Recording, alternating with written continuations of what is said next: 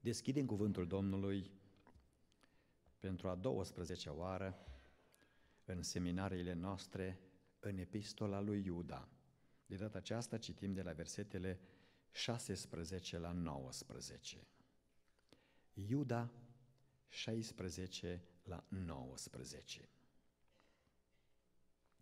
Să ascultăm cuvântul Domnului.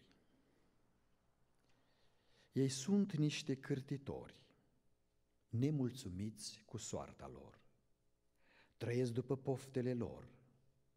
Gura le este plină de vorbe trufașe și slăvesc pe oameni pentru un câștig. Dar voi, prea iubiților, aduceți-vă aminte de vorbele vestite mai dinainte de apostolii Domnului nostru Isus Hristos, cum vă spuneau că în vremurile din urmă vor fi batjocoritori, care vor trăi după poftele lor nelegiuite. Ei sunt aceia care dau naștere la dezbinări, oameni supuși poftelor firii, care n-au Duhul. Amin.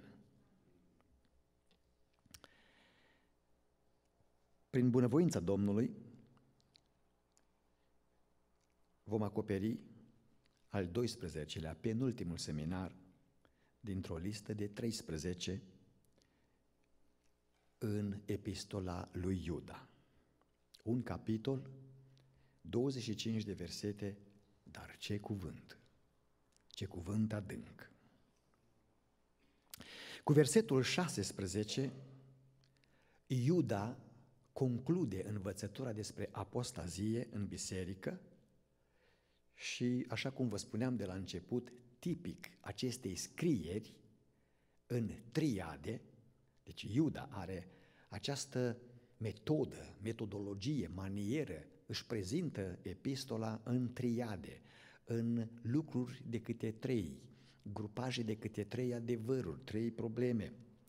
14 în total, în versetul 16, unde conclude învățătura despre apostazie, el prezintă cea de a zecea triadă și spune cârtitori, nemulțumitori și controlați de patimi.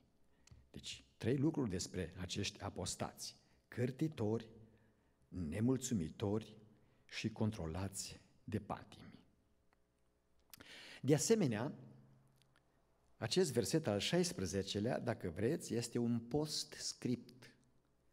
Ca și când și-a încheiat cartea și acum scrie o post-față. După ce am scris cartea, vrea să spună Iuda, este un post-script despre apostazie, în care el, cu o măestrie tipică lui, bineînțeles de la Duhul Sfânt, uh, sumarizează patru trăsături fundamentale ale apostaților patru trăsături.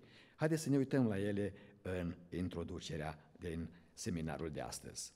Astfel, Iuda ne spune despre apostați că ei sunt petulanți. Ce însemnează petulant? Însemnează un om care manifestă o ardoare de-a dreptul sălbatică pentru dezordine.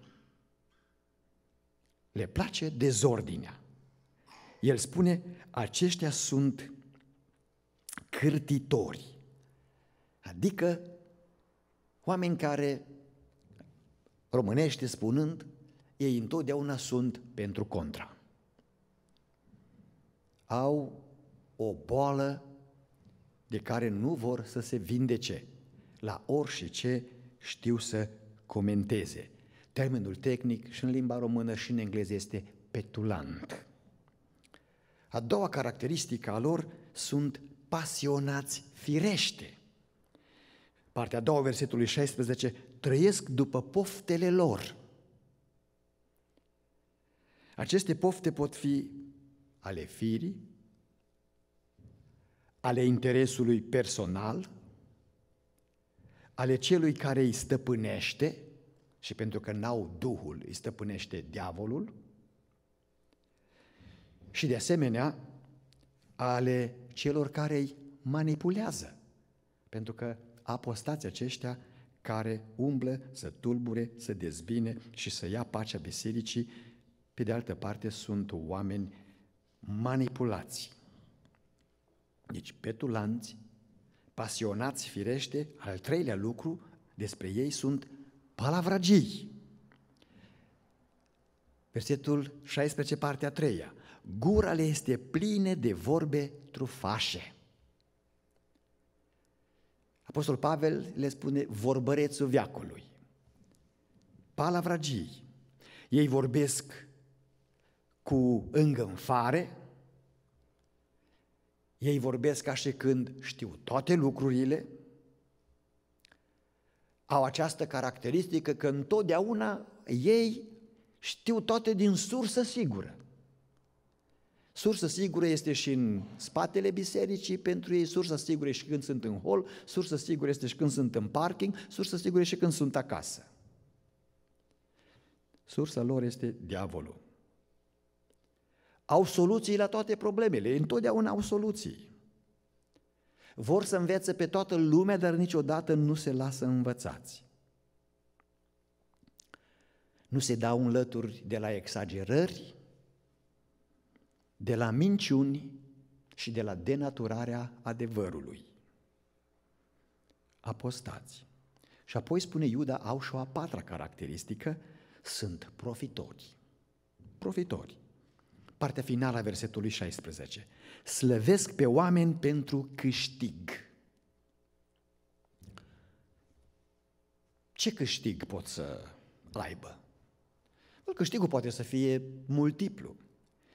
Unu este capital de influență negativă. Să fie oameni care să fie împinși în față. Câștigarea de partea lor a celor les necrezători. Proverbe 14 cu 15. Spune, omul les necrezător crede orice ce. 2 Ioan, versetul 11, spune, nu spune bun venit la primul venit, în sensul că să te iai după el, să te iai după ea. Câștigare de partea lor a ignoranților. Sunt oameni care nu vor să cunoască, dar tot ce aud este bun. Câștigare de partea lor a nestatornicilor, pe care poate să-i manipuleze și cu care pot să-și facă planurile. Ca profitori, seamănă discordie între frați, lucru care este urât de Domnul. Uitați-vă în Proverbe 6 cu 19. De asemenea, în Roman 16, versetele 17 la 18. Ca profitori, vor să arate ca un nume pe care de fapt nu-l au. Și nu, și de ce nu? În ultim, nu în ultima instanță. Dacă spune uh, Duhul Domnului prin Iuda, gura le este uh, plină de uh, vorbe trufașe, slăvesc pe oameni pentru câștig, umblă după banul meu dacă mă pot duce de nas și după banul tău. Pentru că le trebuiește sursă materială. Aceștia sunt apostații, așa sumarizează Iuda.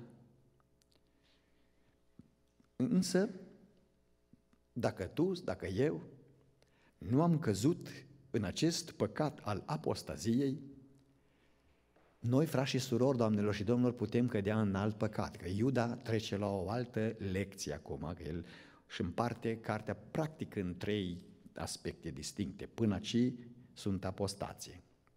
În pasajul de astăzi, el vorbește despre apatie. Apatie. De aceea și seminarul de astăzi l-am intitulat Atenție la apatie. Atenție la apatie. Vedeți, asta este această vorbă între noi, zice, sunt niște apatici. Nu-i mai motivează nimic. Dorm în biserică. Dacă vin aici, ca și cum n-ar fi în biserică. Dacă îți merg la rugăciune, nici buzele nu și le mișcă. Nu sunt ca Ana din istoria lui Samuel, că nu se roagă. Dacă se cântă, nu cântă. Nimic nu-i mai entuziasmează, nimic nu îi mișcă, nimic nu îi motivează. Sunt apatici. Și Iuda vrea să ne spună și să ne atragă atenția, zice, dar voi, prea iubiților, dacă ați scăpat de apostazie, ați rămas în picioare, vedeți, să nu fiți apatici. Implicați-vă în lucrul Domnului. Să urmărim trei aspecte în acest uh, seminar legate de apatie. Primul, activarea memoriei. Este versetul 17. Dar voi, prea iubiților, aduceți-vă aminte de vorbele vestite mai dinainte de apostolii Domnului nostru Isus Hristos. Ce vrea să spună Iuda? Dacă vrei să nu cazi în apostazie, în lepădare de credință, că asta înseamnă apostazie, dacă vrei să nu fii apatic, să vii numai așa ca un om despre care în Apocalipsa se spune ți s-a dus vestea că trăiești, dar ești mort. Ca să nu cazi în păcatul celălalt. Apatie. Îți trebuiește cuvântul lui Dumnezeu. Dar voi, prea iubiților, aduceți-vă aminte de vorbele vestite mai dinainte de apostolii Domnului nostru Isus Hristos. Este foarte interesant vocabularul pe care îl folosește Iuda ca să ne motiveze. Pentru că dacă deschidem Biblia să vedem cum sunt numiți copiii Domnului în Noul Testament, uitați, ei sunt numiți ucenicii Domnului, Ioan 21 cu 1, Matei 28 cu 19. Sunt numiți credincioșii Domnului, Fapte 4 cu 32. Sunt numiți frații Domnului, foarte frumos, Matei 12, 46 la 50. Cine sunt frații mei? Cei ce fac voia mea, nu? Sunt numiți creștini, fapte 11 cu 26. Sunt numiți prietenii Domnului, Ioan 15, versetele 14 la 15. De data aceasta, cum îi numește pe copiii Domnului? Preiubiților. Este un termen cu care Dumnezeu vrea să ne spună cu câtă gingășie se ocupă de mine și de tine. Să nu fiu nici un apostat, nici un apatic, ci un om implicat, un om cu viață. Un om energizat de Duhul Sfânt. Dar ca să mă poată energiza Duhul Domnului, eu trebuie să stau lângă cuvânt. Lângă cuvânt. Prea iubiților. Este un nume pe care, frați și surori, doamnă și domnilor, în Scriptură, îl are Domnul Isus Hristos. Efeseni 1 cu 6, le-a descoperit în preiubitul lui. Este un nume cu care apostolii și sfinții din vechime au fost numiți. Barnaba și Pavel, fapte 15 cu 25. Ampliat, Roman 16 cu 8. Persida, Roman 16 cu 12. Onesim, Coloseni 4 cu 9. Luca, doctorul preiubit, Coloseni 4 cu 14. Timotei, 2 Timotei 1 cu 2. Dar preiubit este un termen pe care Dumnezeu îl folosește pentru biserică. Dacă deschideți cuvântul Domnului la cântarea cântărilor, care este o prezentare alegorică a relației lui Dumnezeu cu poporul său și cu Israel și cu biserica, termenul cel mai frecvent folosit care este? Preiubitul. Preiubitul. Deci, ca preiubiți ai Domnului, ne paște păcatul apatiei nu mă rog, nu cânt, nu donez, nu particip, nu sunt la cină, nu sunt la nimic, dar sunt aici, în biserică. Și este tocmai lucru pe care mizează apostații. Să mă vadă inactiv, că apoi mă activează ei. Să mă vadă inactiv, că apoi mă activează ei. Și mă pun ei pe foc cu poveștile lor, cu minciunile lor, cu exagerările lor.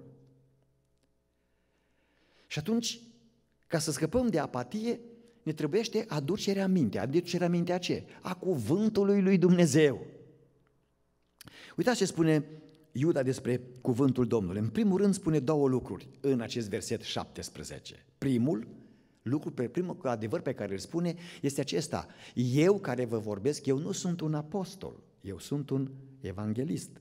Pentru că, uitați cum zice, aduceți-vă aminte de vorbele vestite mai dinainte de apostolii Domnului nostru Isus Hristos. El nu se include între ei, pentru că n-a fost un apostol, a fost un evanghelist.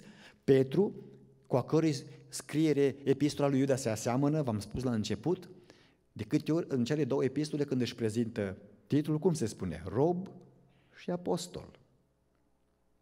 Al doilea lucru pe care îl spune Iuda este că perioada în care el scrie, probabil suntem în anii 65-68, după nașterea lui Hristos, deja scrierile apostolilor circulau, bisericile existente la ora aceea aveau scrierile apostolilor și aveau Evanghelia. Deci nu puteau să se scuze cu nu ne putem noi scuza că nu avem Biblii.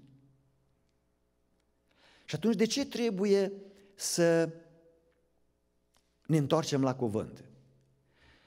Cum vă spuneam în alte ocazie, una din lucrările frumoase ale Duhului Sfânt este lucrarea de activare a memoriei. Așa a spus Domnul Isus, El vă va aduce aminte ce anume. Tot ce v-am învățat eu. Dacă nu mă obișnuiesc cu cuvântul Domnului, dacă nu te obișnuiești cu Cartea Sfântă, n-are Duhul Sfânt ce să-ți aduc aminte. Poate mi-aduce aminte cum am certat cu soția sau știu eu, umbla pe cine știe unde, nu? Dar trebuie să ne aducă aminte de cuvântul Domnului ca să nu fim apate, să nu fim molatici. De ce? Pentru că acest cuvânt de care ne aducem aminte și care ne scapă de apostazie, ne scapă de apatie, are uh, trei caracteristici. Prima, sursa lui este supranaturală. Apostolii Domnului nostru Iisus Hristos.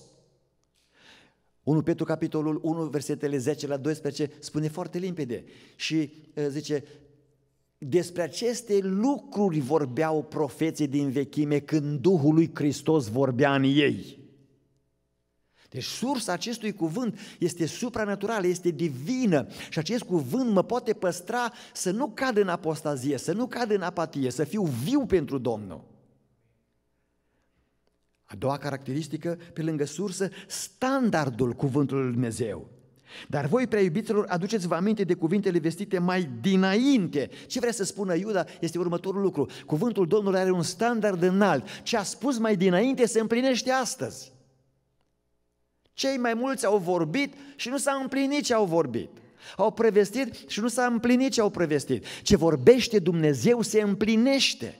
De aceea poți să te rezemi pe cuvântul său ca să fii viu, să fii puternic. Are un standard după caracterul lui Dumnezeu. Cum spunea și Isaia, înapoi la lege și la mărturie. Căci dacă nu vor vorbi așa, nu vor mai răsări zorile pentru poporul acesta. Isaia 8 cu 20. Întoarceți-vă la cuvântul meu, vrea să spună. Înapoi la lege, înapoi la mărturia lui Dumnezeu. Cuvântul lui Dumnezeu e mărturie că Dumnezeu a vorbit. Uitați-vă la timpurile în care trăim. Sunt vremuri despre care a vorbit această carte. Nu dăm atenție, nu răsare soarele pentru noi. Nu este vorba numai de soarele de pe cer. Nu răsare lumina izbăvirii pentru noi. Nu numai sursă și standard, este siguranță în, re- în revelația lui Dumnezeu. Versetul 18 și 19. Cum vă spuneau ei, apostolii, că în vremurile din urmă vor fi bat jocoritori care vor trăi după poftele lor nelegiuite. Ei sunt aceia care dau naștere la dezbinări, oameni supuși poftelor firii care n-au Duhul.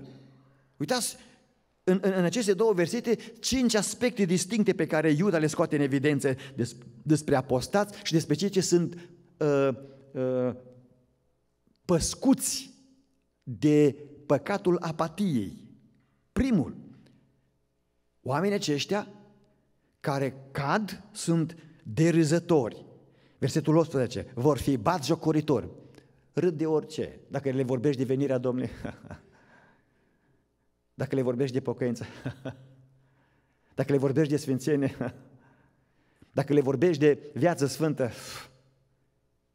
derizători. Doi, sunt desfrânați, care vor umbla după poftele lor nelegiuite. Nu trebuie neapărat să meargă să comită păcat de curvie cu un bărbat sau cu o femeie. E destul să-și imagineze în minte că face lucrul acesta. E destul să, să, să stea la internet și să se uite toată ziua la site-urile acele murdare, o să-și dea bani pe reviste murdare. Tot acolo este.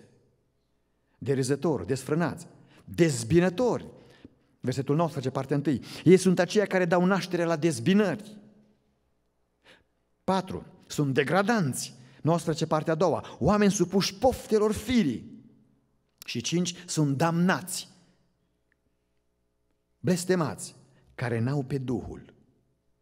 Dacă n-au pe Duhul, Romani 8 cu 9 spune, cine n-are Duhul lui Hristos, nu este al lui. Deci dacă n-au pe Duhul, ai cui sunt? Să nu cadă cineva că vorbim despre nu știu cine. Nu, acum vorbim cuvântul Domnului și trebuie în fața acestui cuvânt al Dumnezeu să ne vedem fiecare. Și atunci ne trebuiește ca să scăpăm de apatie, activarea memoriei. Și cum putem face lucrul acesta? Înapoi la cuvânt. Aduceți-vă aminte, preiubiților, de cuvântul apostolilor de cuvântul profeților. Puneți-l în mintea voastră, în intelectul vostru, în inima voastră și Duhul Sfânt vă va activa memoria și când vi se va întinde cursa în față, când o să vină să vă manipuleze, când o să vă seducă cu vorbele lor lingușitoare, când o să încerce să vă manipuleze, voi trebuie să știți că oricine caută să trăiască după pofta firii, oricine se laudă pe el, oricine caută dezbinare în poporul Domnului, nu are pe Duhul Sfânt. În al doilea rând, cum ne amintim cuvântul Domnului? Ca să stăm în picioare. Cum ne-l amintim? Aș vrea să ne amintim cuvântul Domnului, să vă invit să ne amintim cuvântul Domnului din trei perspective, din trei relații pe care eu ca om credincios, tu ca om credincios, trebuie să le avem față de acest cuvânt. Pentru că observați ce spune Iuda, vrei să scapi de apatie, vrei să scapi de moleșală, vrei să scapi de inactivitate, pune cuvântul Domnului în tine. Și dacă am cuvântul Domnului în mine, nu pot să stau nepăsător, nu pot să stau acasă când este studiu biblic, nu pot să stau când este rugăciune, nu pot să, să stau nepăsător când poporul Domnului plânge și eu să mă apuc de râs. Nu se poate. Și dacă mi-aduc aminte de cuvântul vestit prin apostoli, cuvântul vestit prin apostoli uh, are trei direcții. Prima direcție, credinciosul și credința. Frați și surori, doamnelor și domnilor, credința creștină se naște și se dezvoltă prin cuvânt și pe cuvântul Domnului. În felul următor. Ia uitați cum este prezentată uh, uh, scrierea apostolilor. În Evanghelii, credința noastră este zidită pe persoana lui Isus. În Evanghelie este persoana lui Isus.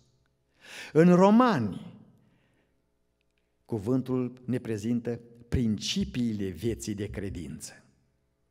Soteriologia, mântuirea. Apoi, antagonismul credinței este prezentat. Legalismul, iudaismul, gnosticismul în Galateni, Coloseni și Evrei. Este antagonismul. Imediat cel rău găsește ceva. Vedeți, noastră, dacă vă uitați puțin în istorie, 1519, Europa și lumea întreagă este într-un întuneric, într-un întuneric spiritual teribil. Biserica Romano-Catolică vinde bilete de intrat în rai, indulgențe. Și Dumnezeu a trezit pe unul dintre ei, pe Martin Luther, A pus mâna pe Biblie pentru că trăiau numai din tradiție, așa cum trăiești tu care mă asculți astăzi. A pus mâna pe Biblie și când a ajuns și a citit în Romani și a văzut că cel neprihănit va trăi prin credință, nu cumpărând bilete de intrată în rai, nu făcându-și mătănii, nu pupând moaște, nu pupând, știu eu, pe toți morții, nu îi nu reonizez pe nimeni, nu tradiții care sunt moarte și care numai gâdile firea. Luther s-a trezit și a făcut ceea ce noi numim reformă religioasă. Ei, imediat a venit Biserica Romană, Romano-Catolică, cu ce? Cu contrareformă. Cu contrareformă. S-au născut, nu s-au născut, ă, s-au înmulțit ordinele călugărești. Ordinele călugărești. Așa se întâmplă și în aceste zile. Dacă tu, dacă eu, prin cuvântul Domnului mă trezesc spiritual, vine diavolul cu contrareformă, cu legalism, cu gnosticism. Numai așa te mântuie Domnul dacă ești îmbumbat, folosesc expresia populară, la mândoi, la toți nasturii de la gât. Nu? Dacă nu vii la noi în biserică în felul acesta, nu se poate. Dacă vii la noi cu inel pe deget, ești anatema. Fire. Fire pământească. Legalism. De aceea, Biblia, a scrierile apostolului nu uită să ne aducă aminte de antagonismul, contrareforma credinței în Galateni, în Coloseni și în Evrei. Dar Dumnezeu vine și ne aduce mai departe prin apostol libertatea credinței în Galateni, domnia lui Hristos, dumnezeirea lui în Coloseni, unicitatea bisericii în Evrei, viitorul bisericii în Apocalipsa. Și dați-mi voi să fac aici o, o, o, o specificație, să am ascultat bine, că noi vrem să vorbim adevărul acum. Am, am văzut că s-a reactivat o cântare printre noi, este frumoasă la melodie, este frumoasă la text, până într-un anumit punct, unde zice, Sfântului sânge și acum curge. Asta este misticism. Este idolatrie romano-catolică. Sângele lui nu curge și acum. A curs, Biblia spune, odată pentru totdeauna. Amin? Așa a curs. Numai în Biserica Romano-Catolică el moare de câte ori faci cina Domnului. Iisus Hristos a murit odată pentru totdeauna. A fost răstignit odată pentru totdeauna. Citiți bine evrei. Este odată pentru totdeauna. Dar puterea lui este aceeași pentru toate viacurile. Însă el nu mai moare, sângele lui nu mai curge, dar are putere să spele. Are putere să spele. Întoarcere la cuvânt. Acesta este credinciosul și credința. Doi, credinciosul și frații lui. Biblia, prin scrierile apostolilor și prorocilor, ne învață, spune Iuda, dacă vrem să ne aducem aminte și să nu cădem în păcat, să nu cădem în apatie, ne învață și cum să știm să avem relații unul cu altul. În scrierile apostolilor avem lucrul acesta. Primul este operarea bisericii în fapte, în 1 Corinteni și Efeseni. Este relația noastră frățească, cum operează biserica. Apoi sunt oficiile bisericii. Efeseni 4, 1 Timotei și Titus. El a rânduit în biserică pe unii să fie apostoli, pe alții profeți. Dar observați acest cuvânt. Și chiar dacă vine din partea unui păstor acum, nu vă simțiți jignit. El a rânduit pe unii, frazi români, în special pocăiții. Dezobișnuiți-vă în numele Domnului odată pentru totdeauna de, de, de această pacoste care în biserici toți sunt învățători. Nu v-a făcut Domnul pe toți învățători. Pe unii i-a dat.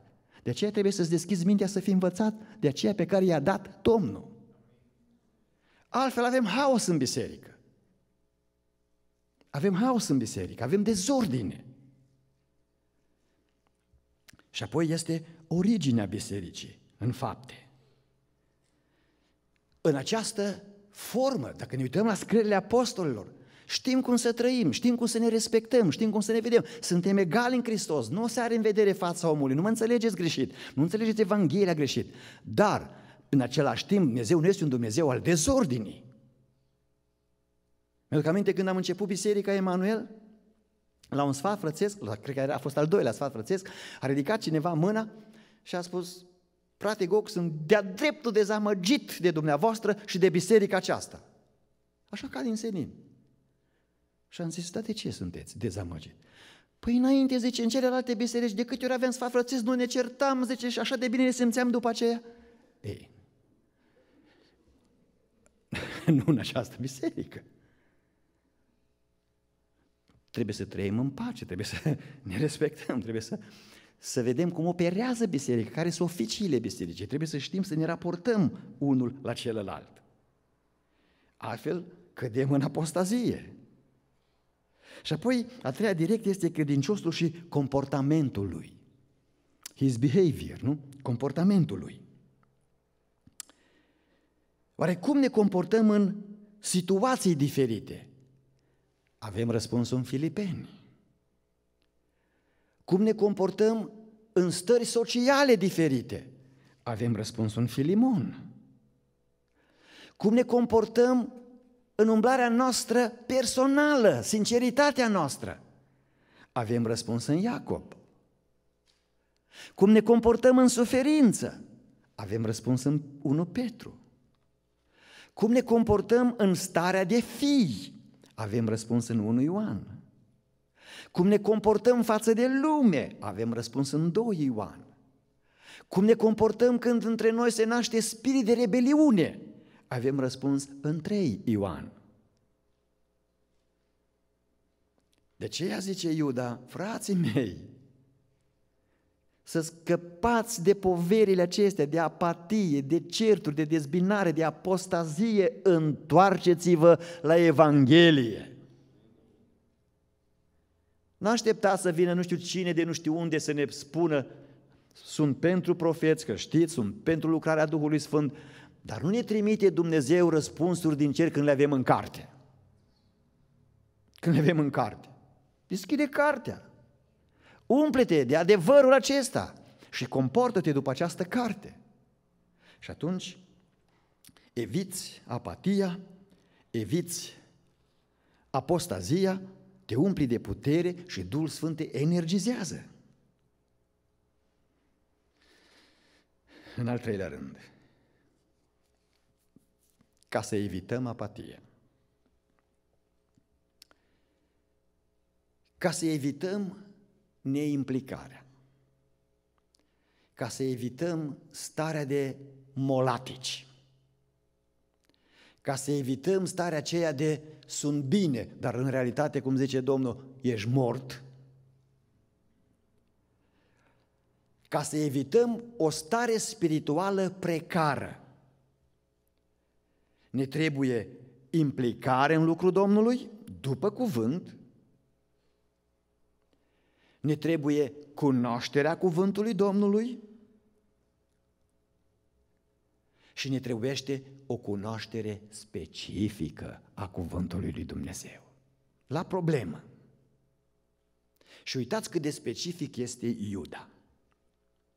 Și Iuda zice așa, când între voi vor veni oameni cu această învățătură, cu această învățătură, cu această învățătură, cu această poziție, cu această atitudine. Specific, uite cum trebuie să vă uitați și ne spune patru direcții în care să ne uităm. Primul spune, uitați-vă la mintea apostaților. Iuda 18, partea 1. Sunt batjocoritori. Ei te ironizează cu privire la Scriptură. Caută să te descurajeze. Caută să cultive neîncredere între frați. Caută să cultive dezamăgire chiar față de promisiunile lui Dumnezeu. De exemplu,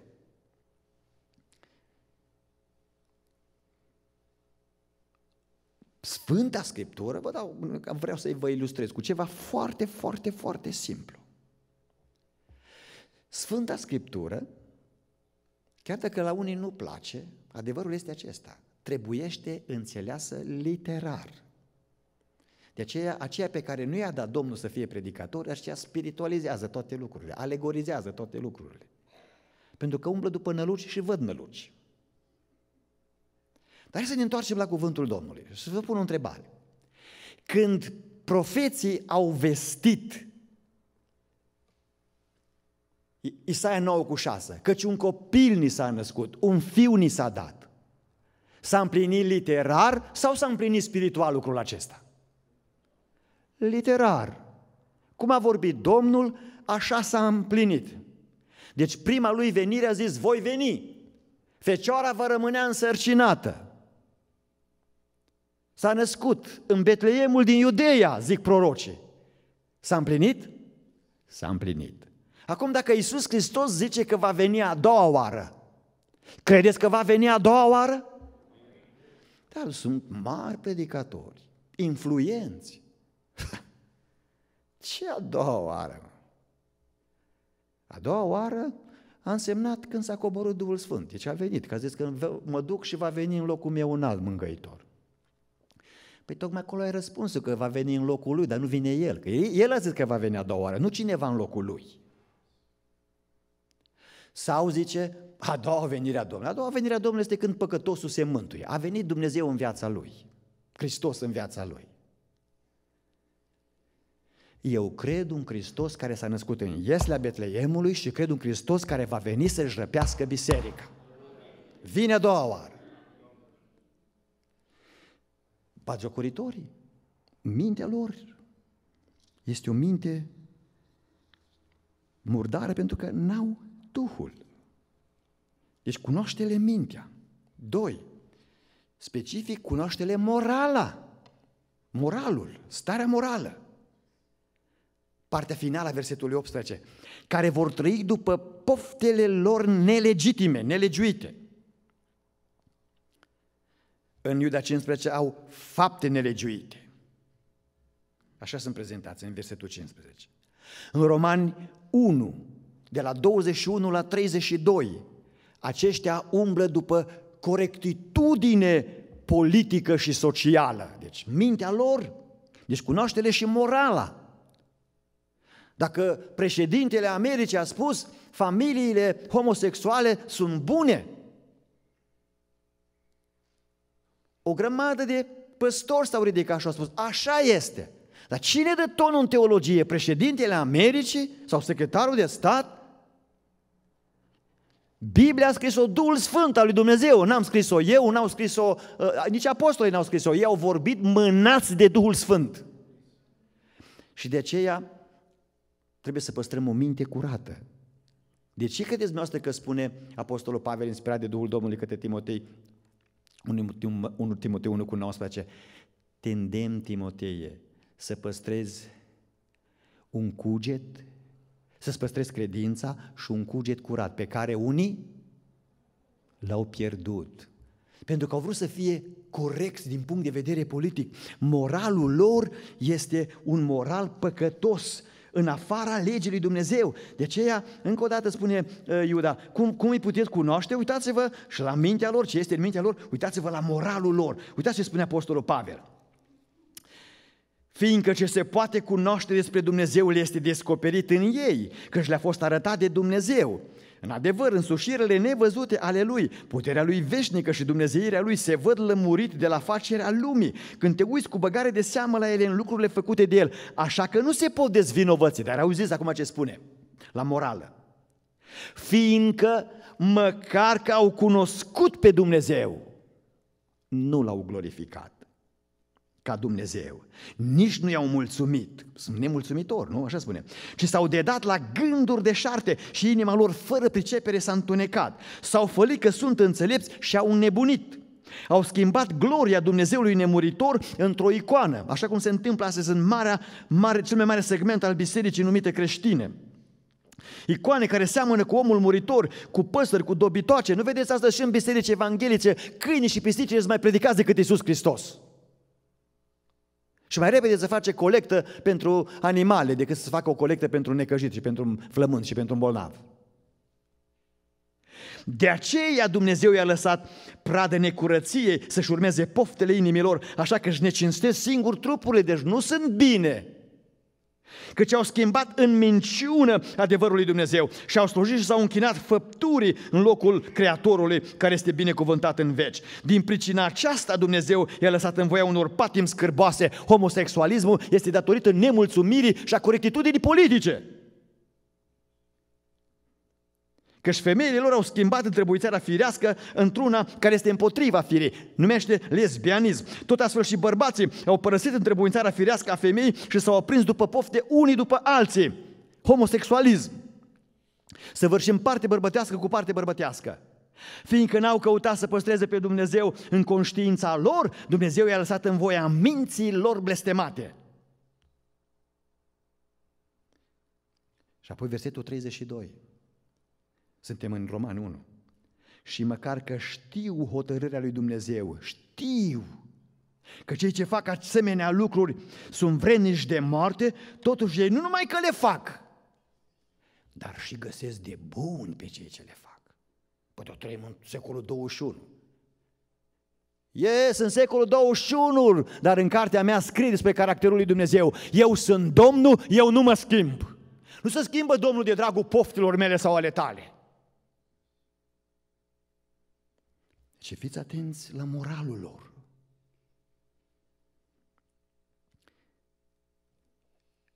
Moralul lor este că operează după principiul acesta. Și așa toți fac. Dragul meu, nu toți fac. Nu toți. Nu toți tinerii se culcă împreună ca soț și soție numai pentru că s-au logodit. Nu toți. Nu toți comit adulteri pentru că așa e la mod astăzi. To have a romantic affair. Este curvie, dragul meu. Nu este afacere romantică. Nu toți. Este o minciună. Și dacă crezi minciuna aceasta, Dumnezeu te lasă pradă minții tale blestemate, să-ți urmezi poftele. Întrebarea este, ce vei face la urmă? Și în biserici ne ferim de, în unele locuri, ne ferim de adevăr, să vă citesc acest lucru pe care sigur că îl știți, ne ferim de uh, a spune lucrurilor pe nume și ca să ne, ca să ne uh, justificăm, ne aducem și proroci, ne aducem mari învățători, mari predicatori, cu titluri multe, nu sunt împotriva educației, că sunt un om uh, bine educat, mulțumesc Domnului. Auziți ce spune cuvântul Domnului pentru unele biserici? Grozave lucruri. Urăcioase lucruri se fac în țară. Profeții profețez neadevăruri. Preoții, păstorii, stăpânesc cu ajutorul lor. Și poporului meu îi plac aceste lucruri. Dar auziți finalul. Dar ce veți face la urmă, zice Domnul. Asta e problema. Ieremia 5 cu 30, 31. Dar ce veți face la urmă? Cunoaște-le mintea, cunoaște-le moralitatea. Trei, cunoaște-le mișcările.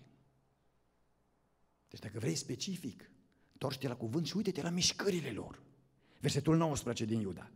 Ei sunt aceia care dau naștere la dezbinări. Când fac întâlniri secrete prin case, când umblă prin locuri ascunse, să nu știe păstorul, să nu știe tata, să nu știe mama, să nu știe prietenii, când umblă cu daruri, când îi cumpără cu mașini și cu servicii, frați și surori, wake up, să ne trezim, să ne trezim. Acestea sunt mișcările apostaților, drumurile lor. Și apoi cea de-a patra caracteristică este marca lor. Deci minte, morală, mișcare și marcă. Partea finală a versetului 19. Oameni supuși poftelor firii care n-au Duhul. Ia auziți cum vorbesc. Vă dau câteva exemple. Stăruință în rugăciune după Duhul Sfânt. Asta e fanatism. Dărnicie. Asta este încurajare la lenevie, domnule. Viața la casa Domnului este o problemă personală între mine și Domnul. Eu și Domnul știu ce fac. De aceea când îi întreb ce faceți, ce Domnul știe. Dar nici Domnul, nici ei nu știu. Vorbesc de Domnul care slujește, că Domnul celălalt știe. Interesul creștin pentru semen, ah, și nu-i de mine, asta e pentru păstor. El trebuie să ducă musafiri, el trebuie să se ocupe. El. Statornicia în casa Domnului și lucrarea Domnului ha, este pentru cei săraci cu Duhul, nu pentru cei săraci în Duhul, știți? Ești sărac cu Duhul, ești dus de acasă.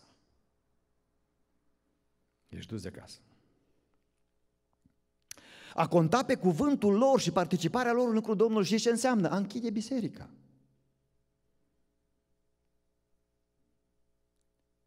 Deranjează cuvântul Domnului. De ce trebuie să predice fratele Gog din astea? Hm. Îi ofensează descoperirile Duhului Sfânt. Pentru că sunt oameni firești, oameni naturali, conduși de o înțelepciune demonică, n-au Duhul. Uitați-vă în Iacov 3 cu 15, înțelepciunea aceasta este firească, drăcească. 1 Corinteni 2 cu 14.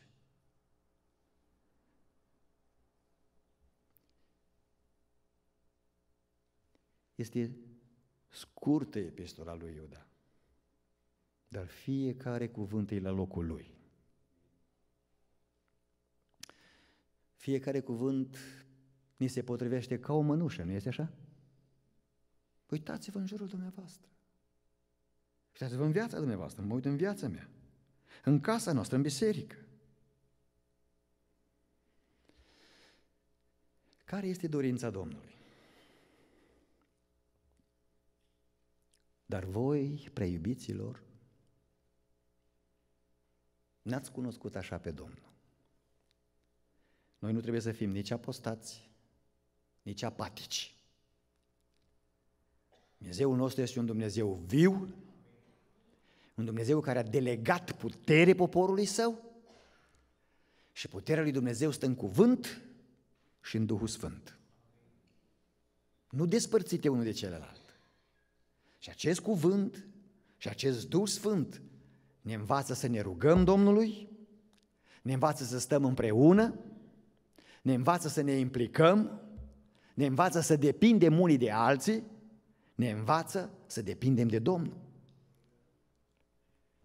Necunoașterea cuvântului, neimplicare în viața bisericii, ascultare la minciunile apostaților și la planurile lor, necunoașterea timpului pe care îl trăim, sunt curse care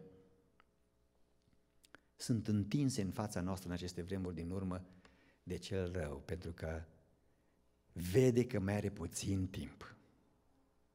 Și Domnul nostru vine și ar vrea cel rău să mă găsească apatic, să mi se ducă vestea că trăiesc, dar să fiu mort. Mort spiritual, știți? Frați și surori, doamnelor și domnilor, Iisus Hristos răpește o biserică vie, nu apatică, nu apostată, nu mortă, vie. Iar celor ce au murit în Hristos, cuvântul Domnului spune, chiar dacă au murit, vor trece din moarte la viață, pentru că au murit în credință, n-a murit credința în ei. Prin urmare, prin urmare, cum spune Iuda, prin Duhul Domnului, cum spune Isaia în 8 cu 20, înapoi la lege și la mărturie. Înapoi la cuvântul Domnului. Înapoi la lucrurile bazice. Pentru că dacă s-a născut credință în noi, nu s-a născut credința în noi pentru că ne-am născut în credință. S-a născut credință în noi pentru că am fost expuși la cuvântul lui Dumnezeu, care naște credință, care determină creșterea credinței, care determină maturizarea în credință și care ne duce în punctul în care credința noastră devine încredere în Dumnezeu. Acest aspect este cel pe care Iisus Hristos îl spune să creșteți în credință. Este încrederea în Domnul. Pe măsură ce îl cunoști mai mult pe Domnul, te poți încredere, încrede tot mai mult în El. Pe măsură ce îl cunoști mai mult pe Domnul în cuvântul Lui, faci lucruri mari cu Dumnezeu este credința devenită încredere. Mă rog Domnului să ne facă oameni treji, care să vedem adevărul, să nu ne deranjeze cuvântul lui Dumnezeu, din potrivă să ne stârnească acest cuvânt pentru o viață plină de entuziasm, plină de putere, plină de Hristos în voi, în noi, speranța gloriei. Amin. Cu ajutorul Domnului vom continua ultimul seminar.